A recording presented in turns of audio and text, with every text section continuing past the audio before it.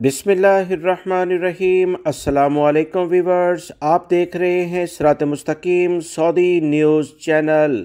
Saudi Arab की अदालत की जानब से सऊदी अरब में मौजूद तमाम सऊदी शहरी और गैर मुल्की अफराद को ख़बरदार किया गया है और बता दिया गया है कि किसी भी लेवल पर कोई भी शख्स दस्तखत से मुतल कोई भी जालसाजी करेगा। किसी के दस्तखत को किसी गलत जगह इस्तेमाल करने की कोशिश करेगा, जिसमें पहले शख्स की जिसके असल में दस्तखत हैं, उसको इस बारे में कोई मालूम नहीं, उसका तहरीरी इजाज़तनामा भी नहीं लिया गया तो ऐसे गलत काम करने वाले शख्स को पाँच साल कैद और पचास लाख रियाल जुर्माना किया जाएगा। सज़ा और जुर्माने के बाद इस गैर मुल्की शख्स को सऊदी अरब से डिपोर्ट किया जाएगा और किसी भी वीज़े पर वो सऊदी अरब नहीं आ सकता है। गैर मुल्की अगर कोई भी ऐसा काम करता है तो आप देख सकते हैं कि पाँच साल कैद के बाद और पचास लाख रियाल जुर्माने के बाद इसकी क्या हालत अपने मुल्क में हो सकती है।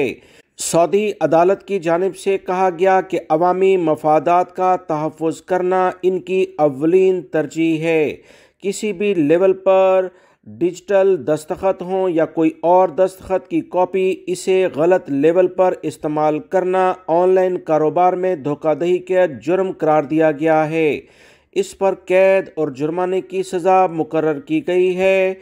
डिजिटल दस्तखत और ऑनलाइन कारोबार को तहफ़ फ्राहम करने की गर्ज से मुकर किए गए कवानीन पर हर सूरत में अमल कराया जाएगा। सऊदी पब्लिक प्रोसिक्यूशन ने ट्विटर पर अपने अकाउंट में कहा कि कागजात की तस्दीक करने वाला पाबंद है कि वो कागजात से मिलने वाली मालूमात मुतल शख्स की तहरीरी या ऑनलाइन मंजूरी के बगैर कहीं भी इस्तेमाल ना करे।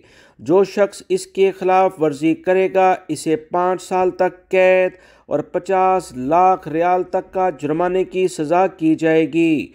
इनका मज़ीद कहना था कि खिलाफ वर्जी में इस्तेमाल होने वाले आलात, सिस्टम और प्रोग्राम जब्त कर लिए जाएँगे, जबकि इल्ज़ाम साबित हो जाने पर अदालती फ़ैसला मुद्दा अलय के खर्च पर मीडिया को जारी किया जाएगा। इस बारे में वो तमाम गैर मुल्किया सऊदी शहरी जो ऐसी हरकत करेंगे, इन्हें कड़ी सज़ाओं के बारे में ऐलान किया गया है।